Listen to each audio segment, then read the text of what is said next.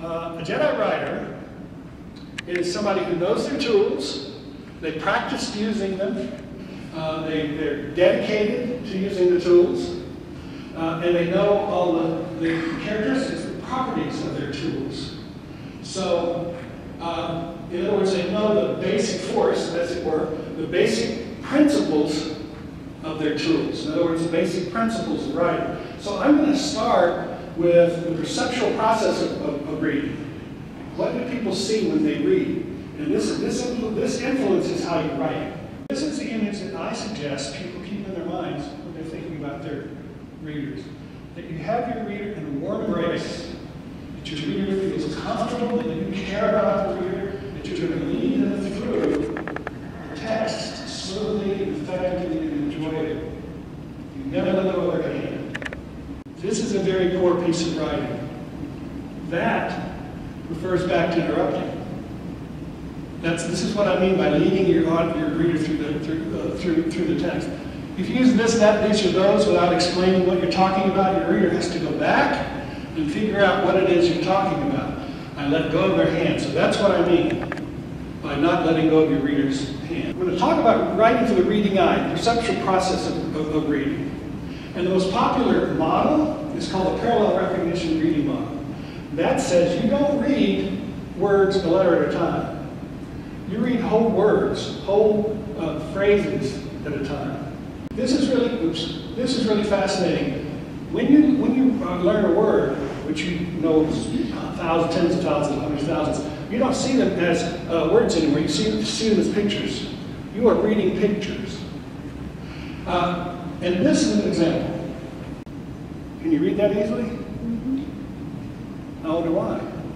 Because you see the word as a holistic picture, which you can decipher just almost instantaneously. And this is an example of what your eye does when it reads. Uh, the dot, this is an eye tracking uh, video, the dot shows where the eye is focused when it's reading. It's making these saccades, these jumps. And the size of the dot shows, uh, as it grows, shows how long the, the eye stays on a given word.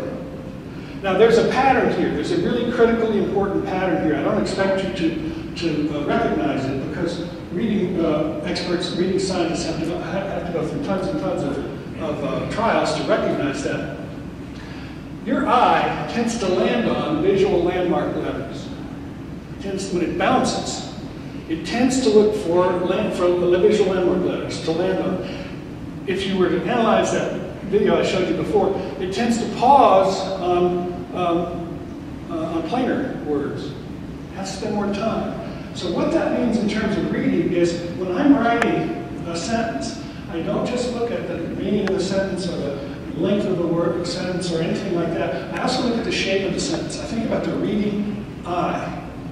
How easy will it be for, that, uh, for the reading eye to decipher that sentence? So I will take a sentence that's too planar, and I'll go back and add, look for synonyms that uh, have uh, visual landmarks. It's also why I indent more than my English teacher in high school would liked. Because indentations are visual landmarks for the reading eye. I also use a lot of subheads. So you have to think about the, the, the reading eye. And it's also why active voice is so effective. See, these, these visual, these passive verbs are less readable, they're plainer. Um, active voice is more engaging because you have actor, you have an actor. A is doing something to be, and C is doing something to be. It's also more dynamic because it leads you through the text without letting go of your hand. A does something to B, in the next sentence C does something to B, and then E does something to F, and so forth. So active voice. I advocate using thrifty words rather than expensive words. You look at all these words on the left, these are words that science love to use. So it's really hard to get out of the habit of not using thrifty words. But they put a lower cognitive load on your readers. Now, I suspect you'll probably find it difficult to use any of the word, these words in scientific articles because it's just difficult. But another thing you want to do is choose the best word. And my favorite uh, saying is the difference between the almost right word and the right word is the difference between the lightning bug and the lightning.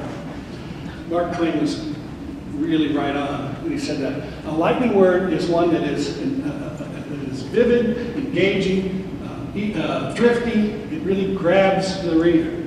Crafty readable sentences.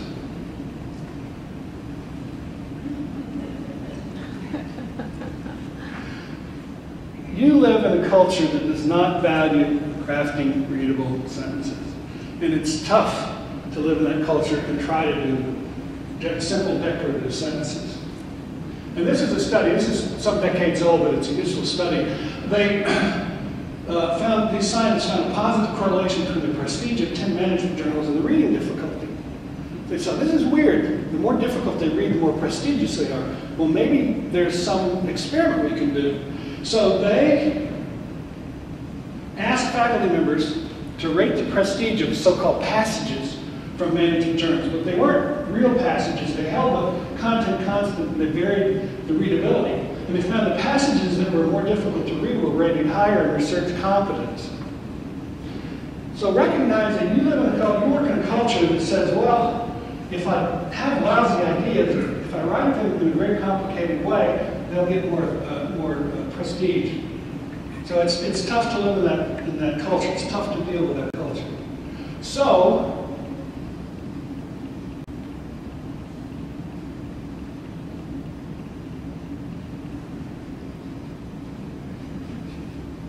okay? Now let's talk about sentences. You'll all get this sentence, right?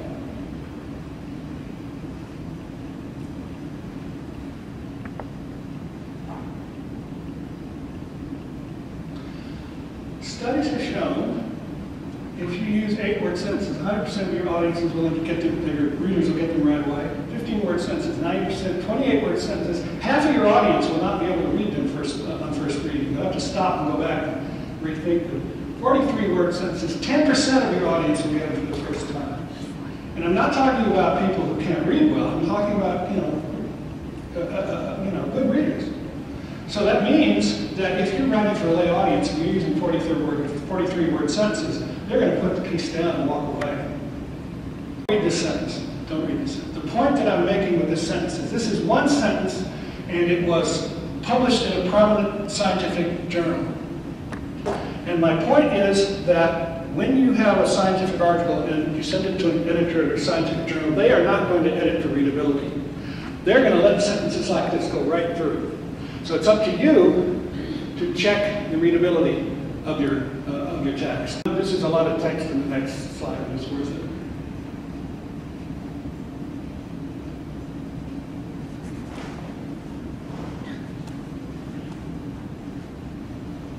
Okay?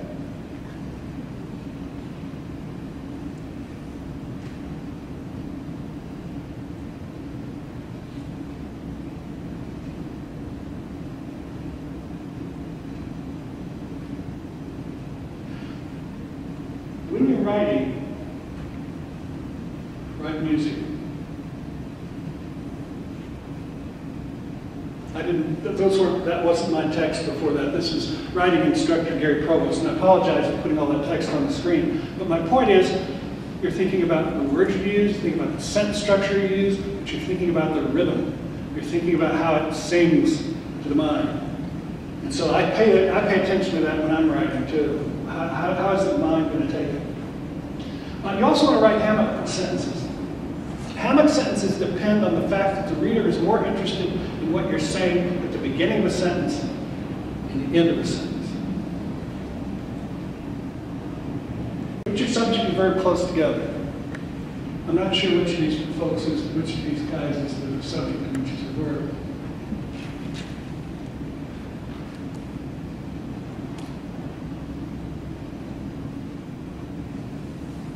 Okay?